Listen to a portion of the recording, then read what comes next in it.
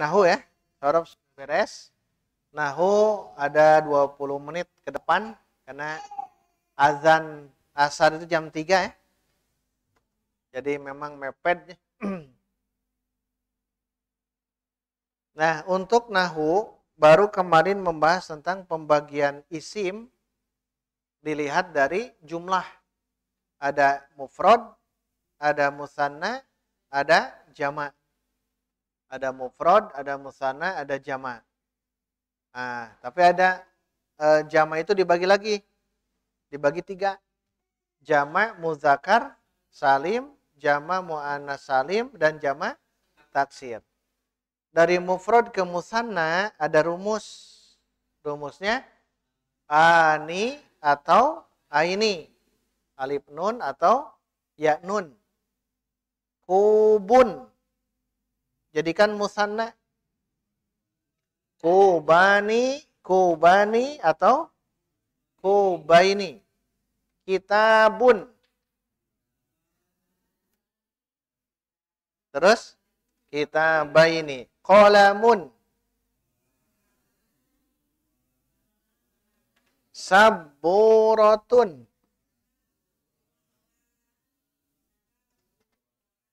Bagus. Maktabun ini. Bagus. Saatun jam.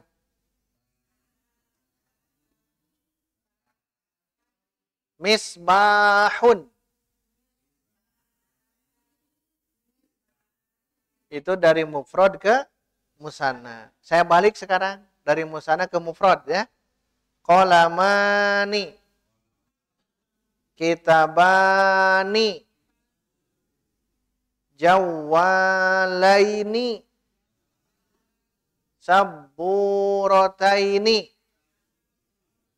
Mirwahataini. Kubaini. Diulang. Kubaini masjidani. Nah, bisa dibalik ya. Bisa. Sekarang dari mufrad ke jama mudakar salim. Apa rumusnya? Una atau ina. Ini biasanya yang berakal. Kalau berakal berarti tentang manusia eh. Tentang manusia. Sok silahkan saya mufradnya ikhwan akhwat langsung ke jama mudakar salim tambahkan una ina langsungnya una ina misal muslimuna muslimina harus una dulu kan nanti di i'rab akan ketahuan. Mukminun muflihun. Muttaqun. Muslimun. Qanitun. Munfiqun. Pakai kok. Kemudian kafirun. Zalimun. Munafikun.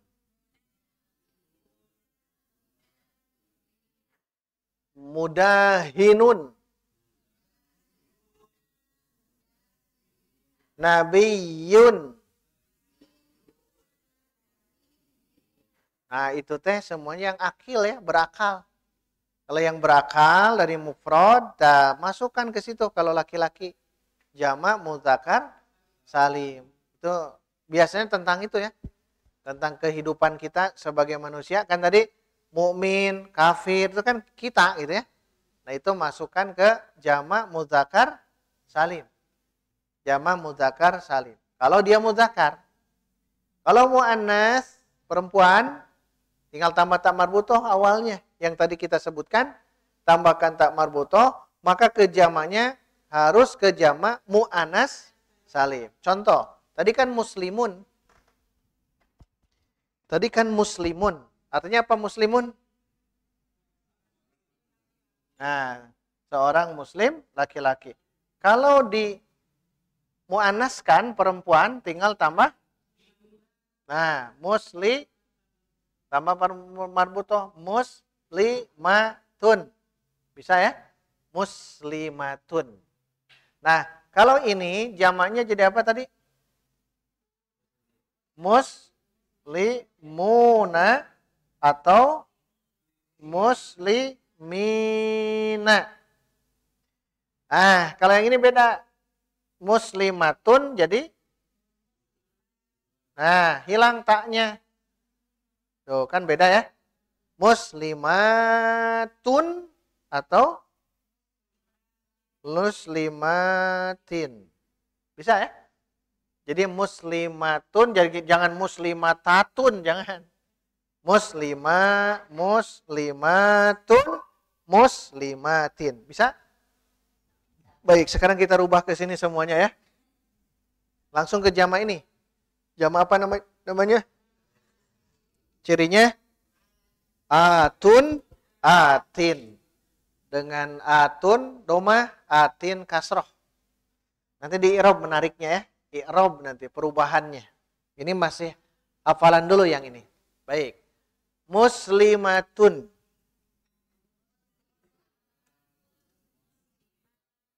mu'minatun.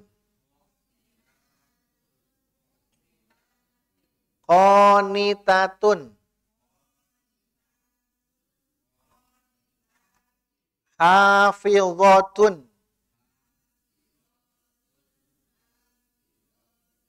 Kafiratun. Munafiqatun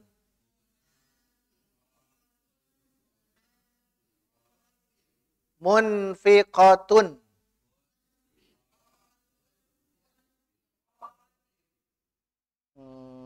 Muflihatun.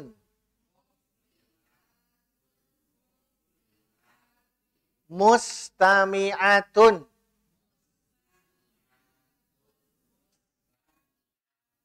Hadiratun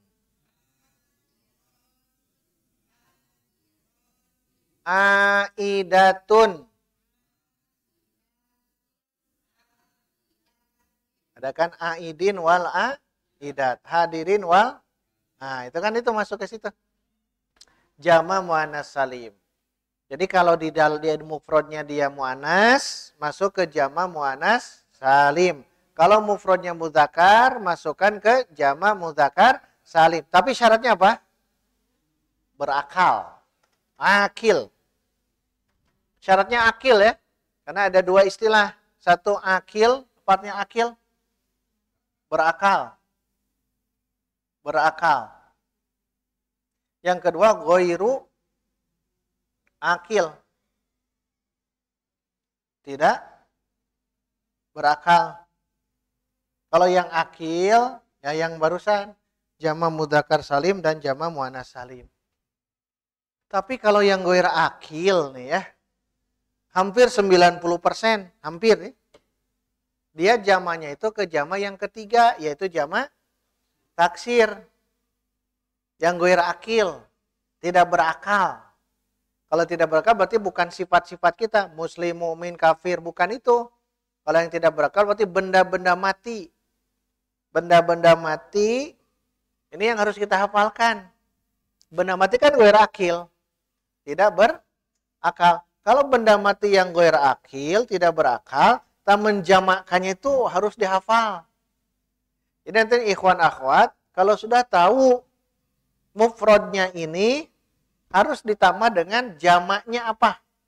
Contoh, mahaza apa ini? Kolamun. Walaupun kan gue akil, tidak berakal. Berarti jangan cukup hanya hafal kolamun. Jangan cukup. Jangan cukup hanya hafal kolamun saja. Tapi harus tahu dengan jamak taksirnya. Jim itu jamak. Jamak taksirnya apa? Nah, ini harus dihafal. Ak, lamun. Nah, harus dihafal yang ini. Kan ini adalah jamot taksir, jamat taksir. Jamat taksir aklamun. Makanya kolamun, aklamun itu mah hafalan. Nanti di grup kalau menemukan sesuatu, tanya ya. Ustaz, ini saya tahu bahwa ini adalah bahasa Arab ini. Apa jama taksirnya? Nah itu kita akan jawab insya Allah. Karena jangan merasa cukup hanya hafal ini saja. Kolamun. Harus hafal jama taksir. Karena kalau kolamun di jama mudakar salim tidak masuk. Kenapa? Kan tidak berakal. Kolamun, misal kolamuna, kolamina. Salah itu ya. Qalamuna. Kenapa salah? Karena tidak berakal. Ada syarat-syarat memang kalau di ilmu itu. Tapi ya yang penting kita tahu oh ini tidak berakal. Masuk ke jama taksir yang tidak berakal. Walaupun nanti ada juga yang dilewat begitu ada. Tapi secara umum ya. Secara umum. Baik. Kita sebutkan lima. Kolamun. Kitabun. Tuh kan beda kutubun. Ya. Kitabun. Jadi kutubun ada yang hilang tuh. Alifnya dan harokat berubah. Kalau kolamun ada yang nambah, bedanya itu. Ya, bedanya itu. Baik, kita teruskan. Tiga. Apa ya? Kubun. Kubun. Tuh, sulit kan ya? Kubun, kau kabun mah bintang.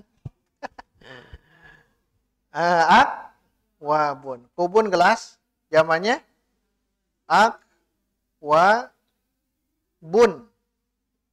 Wa akwabum maudu, ah, akwab.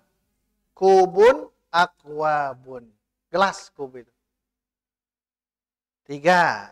Empat. Pintu bahasa Arabnya. Oh, kita sudah tahu babun. Pintu. Babun, pintu. Jamannya? Abwab. Bun. Abwabun. Allahumma ftahli. Tuh, abwab. Jadi mau tidak mau harus dihafal. Tidak bisa babun, cek orang teh babuna, babina. Salah. Salah, karena dia tidak berakal. Kalau yang berakal baru ke jama mudakar salim. Jadi dilihat. Jadi kita harus tahu tentang ilmu ini ya. Jama taksir itu ada rumus, ada rumus, tapi banyak. Saking banyaknya begini, begini, begini, begini. Ah sudah saja jama taksir itu hafalkan saja. Gitu. Ya. Itu baru berapa? Empat. Nah, satu lagi. Jidarun. Dinding jidarun. Apa? Kalau jidarun sama dengan yang paling atas tuh. Kitabun zamannya kutubun. Jidarun sama kan judurun. Jidarun, judurun. judurun, judurun. Jidarun, judurun di surat apa itu? Judur. Jidarun, judurun. Maun, air. Esennya. Maun. Maun, air. Miyah. Miyahun. Cahaya, nur. Nurun, Jamaknya karena tidak berakal. Anwar. Jadi anwar itu jama dari nur. Anwar. Cahaya ini ya. Cahaya. Ini air. Api apa api? Narun. Narun. Jamannya apa? Ah. Memang di sini. Niron. Besok niron mah api atau neraka ya. Narun niron. Tapi di kelas kita halal ya. Halal di kelas kita. Makanya di grup itu silahkan sharekan saja. Jangan malu. Salah itu jadi ilmu bagi orang lain, bagi kita ya. Jadi kalau lihat nur, anwar, nar, niron. Api Dari mana itu hafal? Dari keseringan kita baca Quran, baca hadis, baca kitab, baca turos-turos kitab, kita akan tahu nantinya dengan sendirinya. Tapi kalau diperhatikan lihat, jama-jama taksir yang ini kan setidaknya mereka ini dekat dengan aslinya. Lihat, akwabun. Kan dekat dengan kubun. Abwab, ada ba-ba kan? Ada ya? Aklam, ada kolamun kutubun ah berarti jama taksir mah begitu saja. Jama taksir itu. Makanya antara mufrad dan jama taksir memang nanti banyak yang keliru. Ini jama taksir padahal mufrad. Ini mufrad padahal jama taksir banyak yang keliru nah, caranya bagaimana hafalan badan kita ingat nih badan kita dari ujung rambut sampai ujung kaki Jamaknya ke mana? Roksun, kepala. Jamaknya mudakar salim, jamak muannas atau jamak taksir? Jamak taksir. Jadi mulai dari roksun, jangan roksun, sya'run rambut. Rambut itu mufrad. Kalau nanti dijamakan ke jamak taksir, itu hafalan semua sampai rijlun. Sampai kuku, kuku saja. Zufrun, zufrun itu harus masuk ke jamak tak, taksir. Makanya pertama kali hafalkan dulu mufrodnya.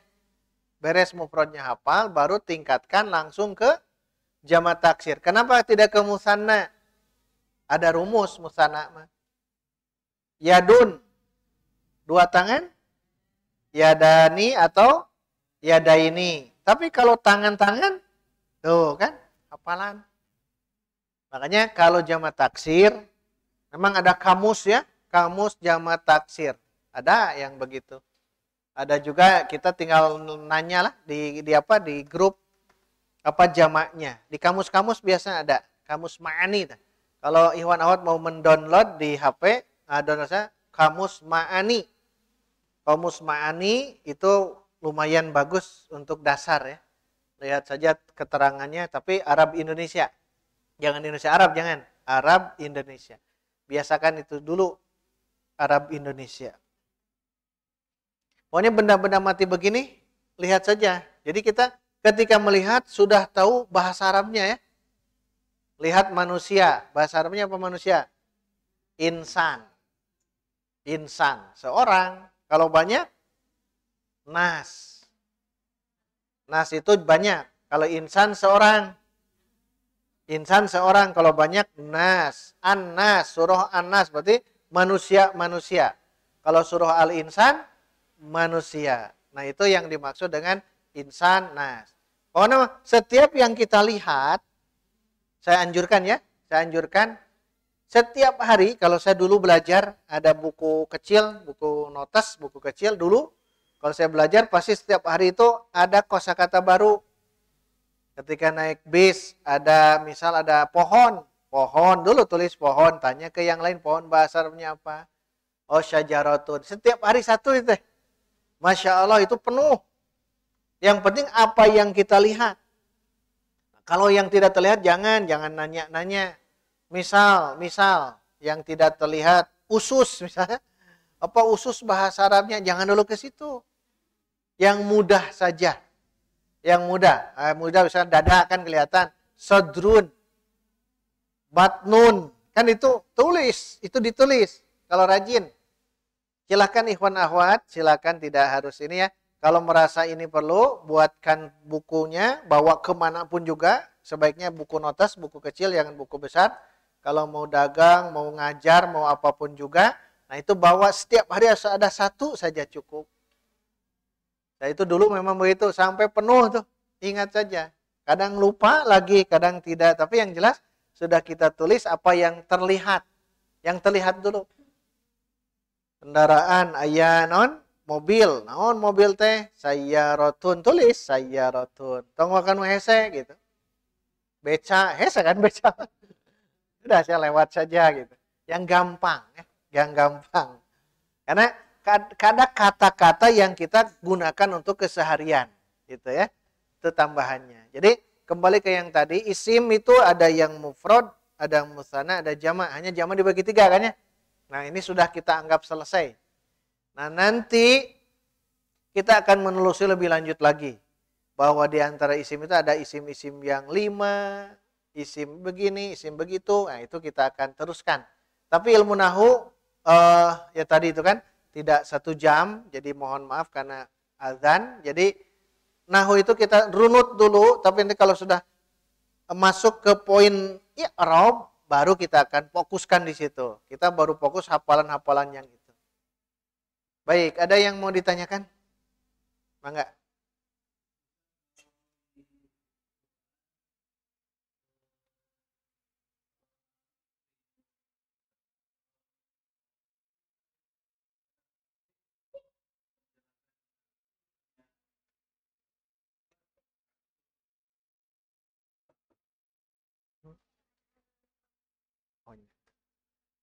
Bueno, kuma dina Quran?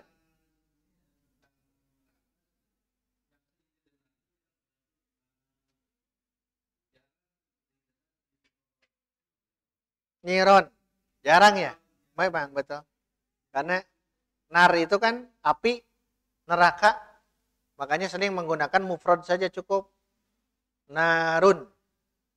Mu'iddat uh, apa? Fattakun naro nar kan ya di Quran jarang dan tidak bukan jarang memang tidak ada kata nironun di dalam Quran tidak ada. Adanya nanti di kajian-kajian kitab kajian kitab ada nar niron. Nur anwar. Anwar juga kan adanya di luar. Nur itu kan di Quran ada nur. Surah an-nur kan ada surah an-nur itu nur cahaya. Anwarnya kan tidak ada. Maun afaro'aitumul ma'a. Nah, kan ada dalam Quran.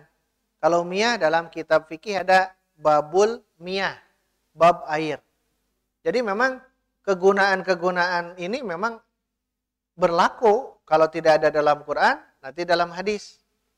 Makanya kita belajar bahasa Arab ini bukan untuk bisa ngobrol bahasa Arab. Kita ingin menelaah turos. Kita ingin menelaah tentang uh, kitab Quran lah, Quran hadis kita ingin telaah dengan benar. Kenapa? Satu kebahagiaan kalau kita sudah bisa membaca Quran tanpa melihat terjemah. Kita bisa sholat tanpa melihat terjemah juga. Kan banyak yang sholat itu hanya bisa bacanya saja. Tidak paham ini isim fil huruf. Allahu Akbar. Allah itu isim fil huruf. Akbar itu isim fil huruf. Jumlah apa? Kan belum ya. Kemudian nanti ketika baca subhanakallahumma Allahumma ba'id baini bagi yang faham itu Masya Allah itu akan membantu kehusuan. Makanya azamkan cukup kita belajar ini satu tahun, dua semester itu akan faham nantinya karena dasar-dasar ini ada. Nanti kita praktek-praktekkan nantinya langsung ke turos yang kehidupan keseharian, Quran dan hadis dan bacaan-bacaan keseharian, sholat, doa dan sebagainya. Ada lagi yang enggak?